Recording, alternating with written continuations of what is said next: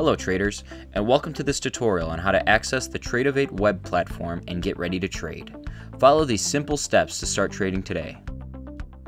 Step 1. Go to the web platform for Tradovate. Open your web browser and navigate to the following URL. Step 2. Log in and accept agreements. Enter your Tradovate username and password that you received in your email or the one displayed in your trader dashboard.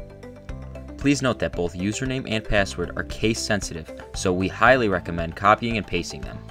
If you don't see the non-professional data agreement, try opening an incognito window in your web browser and navigating back to the login page.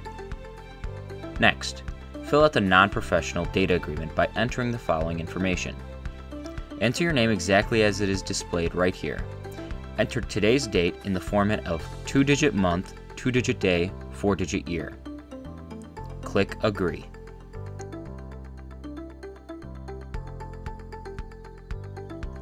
If you go to the connection guide on your dashboard, there are some helpful links to Tradovate platforms you may find useful. Step 3. Get ready to trade. The next page is where you'll need to agree to Tradovate's terms of use. Scroll to the bottom and click Agree. After you agree, on the next page click Access Simulation Environment, and you will see your trading platform.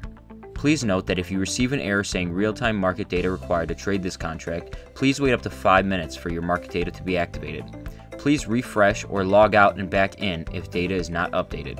If the error continues after 5 minutes, feel free to contact us for assistance. That's it, you are now ready to start trading on the Tradovate platform. If you have any other questions or concerns, please visit the FAQ section at EliteTraderFunding.com.